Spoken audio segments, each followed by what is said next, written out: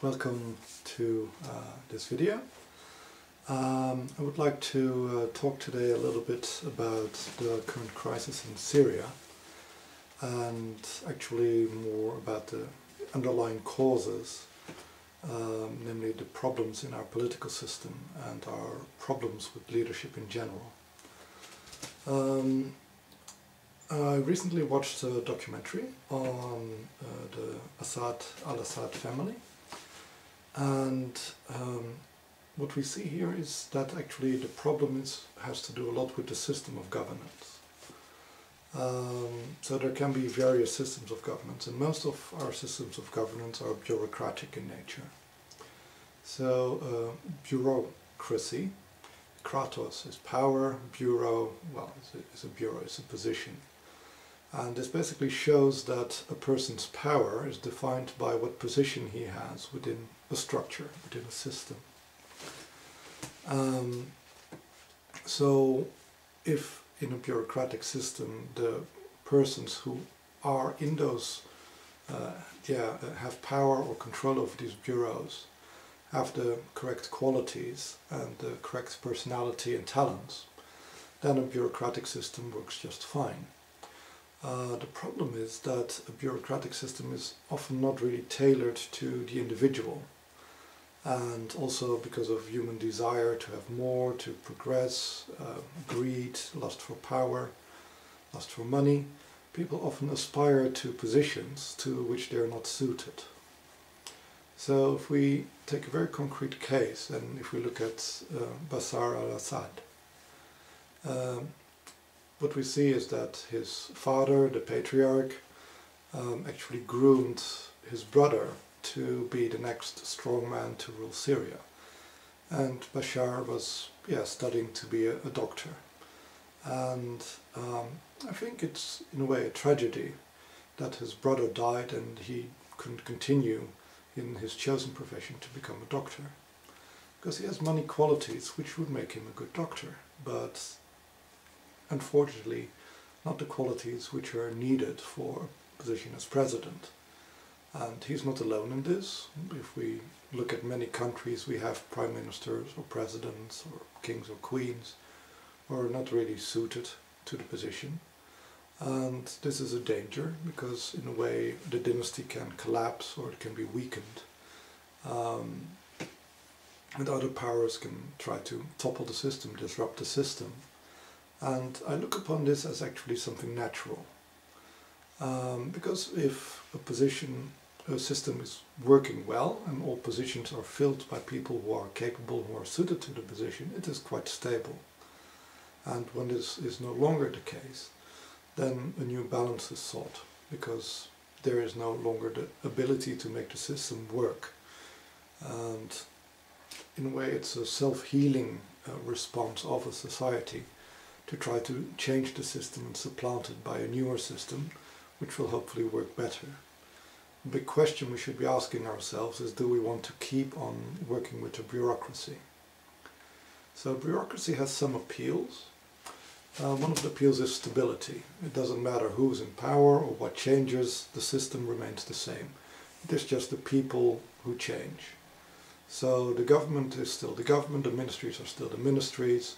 It's just that different people take the position of minister or secretary um, this system grants that stability, but um, it is only really a good or stable system if the persons who are given that post also have the necessary talents. And this is where it becomes a little bit tricky. Um, because if we look at the, at the case of uh, Bashar al-Assad, um, often uh, a true leader has um, a very assertive um, power or at least a very strong energy, very strong willpower, so other people are swept along in his or her vision or his or her mood at least. And uh, if I look at the energy body of Bashar al-Assad, he is relatively strong, but he does not possess that type of strength. Um, so what it turns out is that instead of the, in a way, like his father and his brother were the military leaders who had a vision of themselves in a way being the father of the nation um, and that they were leading the nation. They had a will, they had a vision and the entire country is swept along in that. We see in Bashar al-Assad that he is very much more a man of reason and a man who is more prone to um, negotiation. And uh, what we see often is that people who yeah, do not have that vision become puppets or entranced by people who do have that vision. So we saw it in, for instance, before the Russian Revolution, uh, that Rasputin had a very strong influence because he was energetically the stronger. And we also see it uh, a lot in the US and here also in Syria, that there are actually other powers behind the throne um, who have their ideas and their visions and that the presidents are in a way just the figureheads and um, trying to navigate, trying to survive in this stream of energy, in this flow of power, which they can't completely control anymore. So he's much more of what you could say um, a businessman or a lobbyist who's trying to do his level best to yeah make the best out of the situation he finds himself in. But he's unable to control it. And he's rather at the mercy of those yeah, powers who create these flows, who create these uprisings, who create uh, plans and ideals. And he's just a moderator, not a generator in this case. So if we look at the expectations and uh, yeah, image of the media, so he's often portrayed as like the despotic leader, the tyrant, and um, in a way people yeah, expect from him as a tyrant to be able to control the situation, to change everything around. But he's neither a tyrant nor has that yeah, capability. So he finds himself in a rather um, yeah, challenging situation where people expect him to have a certain power. He can't really show weakness because that would aggravate the situation, but he can't get out of it either. Um, and who's at, at fault? Is Bashar Assad at fault, or the people who put him in this position, or the people who do not you know, accept his limitations? and who accept, yeah, a person in his position uh, to behave differently, to have different types of powers and talents. And the problem is all of the above. It's a situation which was created by a lot of factors. There's historical factors, there's the expectations of people, there's also the ignorance of people who can't see or realize the capabilities of a person and have unrealistic expectations The important thing is how to get out of such a situation. So one way to go at it is to say like, gosh, we need people with real leadership potential. We need the strong man or the strong woman to take charge, to have a vision for a way forward and to be so charismatic and powerful to sweep everybody along with it. So this could be a role for a savior. But if we look at the reality of what politics has kind of become, it is much more a marketplace for lobbyists.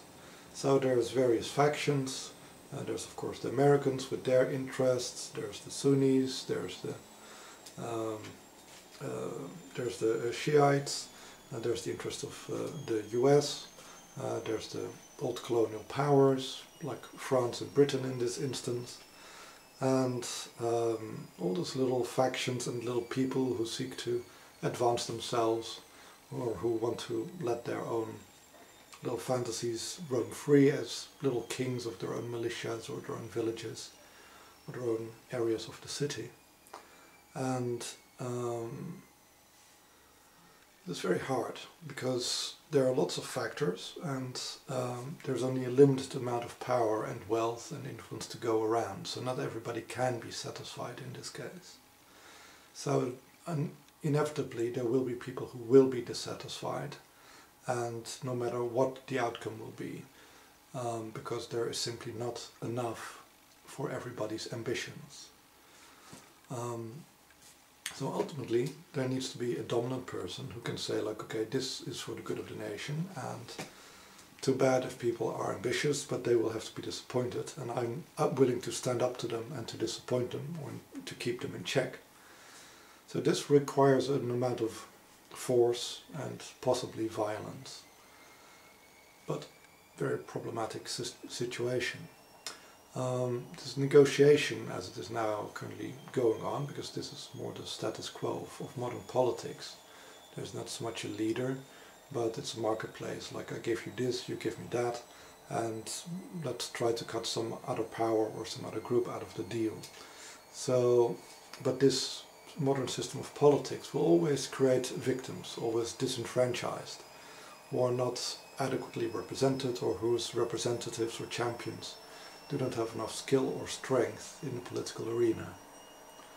Um, so it is a rather um, hard situation to resolve and I don't think a perfect resolution is possible. Um, what would be best is probably um, to look at a, little bit the bigger picture. Like what is the role of, of, of Syria on a spiritual level, on a, on a larger scale. Syria is a very old country. It has often been a seat of, uh, yeah, of ancient empires, of knowledge, of religions, of science. So it has a very innovative impulse. And ultimately what we want to move into as a world in general, not Syria in particular, is that there is room for uh, personal growth, for individuality. And it also means that in a way the power structures should not be so much um, prisons which uh, yeah, lay down the rules and the laws for everybody to obey, but rather create a framework of services for the individuals to develop themselves.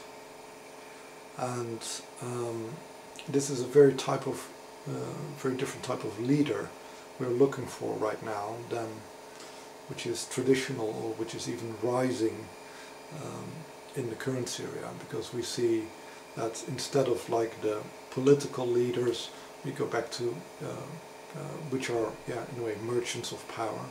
We go back into a more uh, yeah older time frame where we had a military leadership a military dictatorship and ultimately we should be moving more really towards a true democracy um, which is where the individual is in, in, in charge and that certain facilities are community owned or community run rather than yeah, in the control of a few capitalistic uh, powers. Um, but this is a very big change to make for a country. Um, I don't think it's impossible, but I do think we have to be realistic about it and such changes can take a generation or more for to really come to fruition. But it is something which should be started and it is something which can't really be built in the middle of a war zone. So I would agree with the UN that a ceasefire or something like that is necessary. Um, and that also means that certain powers have to accept the reality um, that it is impossible to have this absolute power, this absolute control, which both sides are actually striving for. Uh, so whether the rebels or whether Assad, they're in a way still aiming for a totalitarian regime, even though they may call themselves to be in favor of democracy. Uh, it is a kind of democracy which is still not serving the people, but serving their own interest and serving their own power group. So unfortunately in this battle there is yeah, not really a right side or a wrong side. There is in a way um, yeah, just a possibility to try to look for the lesser of two evils. And that should be the side or the group or the combination of groups which is able to lead Syria into a new age, more enlightened age of personal freedoms. Um, if we look at the, the current leadership, uh, we find that they find themselves um, rather troubled because if you look at earlier uh, attempted revolution, um, they were put down rather brutally by basically a show of force and by in a way crushing any resistance by showing you have more power and this is very much a, a military way of thinking, a warrior's way of thinking. Um, and this warrior culture is still quite strong also within the Syrian people. It is not by necessity a wrong way, but um, if you go from a warrior's perspective, then you would have to go yeah through a feudalist uh, uh, yeah evolution, where every little region has their own little yeah warlord. There's more factionalism, and ultimately these yeah warlords have to yeah agree on common laws and on a common um, national goals in some kind of an assembly, and this way order can be restored by having in a way local people choose local leadership and this local leadership should yeah, try to resolve things as peacefully as possible. If you look at the more modern system, I said it is much more of an arena of power brokerage and money enters into it. And because money is a very yeah, good system to influence power, to influence votes, to influence decisions. Because people are very prone to greed.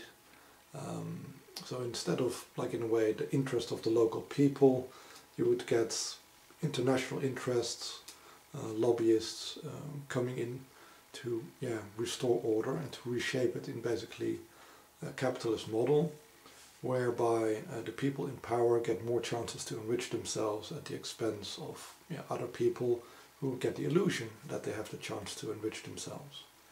Um, but this can also be a relatively peaceful society, or well, at least the peace is, or the violence is much more financial than physical, which is already an improvement.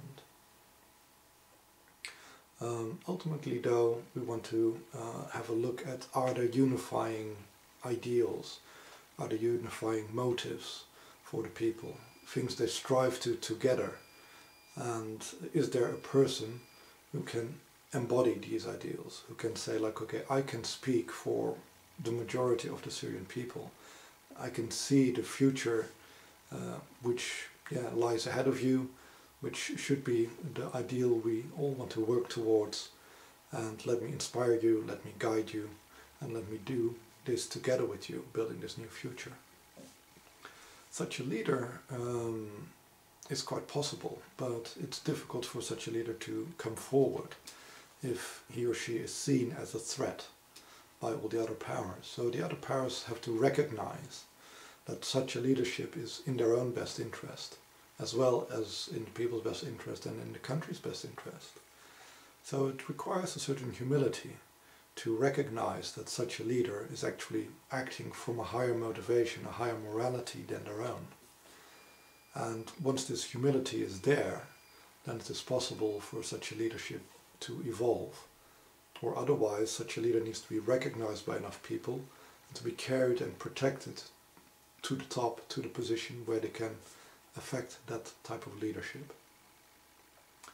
And this holds true for every country, that we need to look for leaders like that, who can inspire us, who are in a way yeah, blessed with a vision of how to lead and where the people yeah, should go and what steps should be taken in every situation.